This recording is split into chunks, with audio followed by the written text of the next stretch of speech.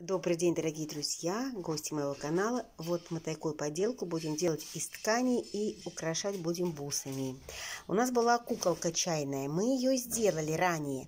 А сегодня мы сделали такую вкусную конфетницу, красивую для конфеточек. И я сейчас, сейчас вам покажу, как у нас получилось. Куколка стоит, и рядом с ней конфетница. Вот комплектик. Крышечка вот такая. И там у нас конфеточки. И куколка у нас чайная, и конфетница у нас. Вот такой красивый наборчик у нас получился. Если вам понравилось, вы можете также сделать. Это все из пластиковой бутылочки. То, что у нас осталось от предыдущей поделки. Мы все сделали красиво. И получился опять-таки комплектик.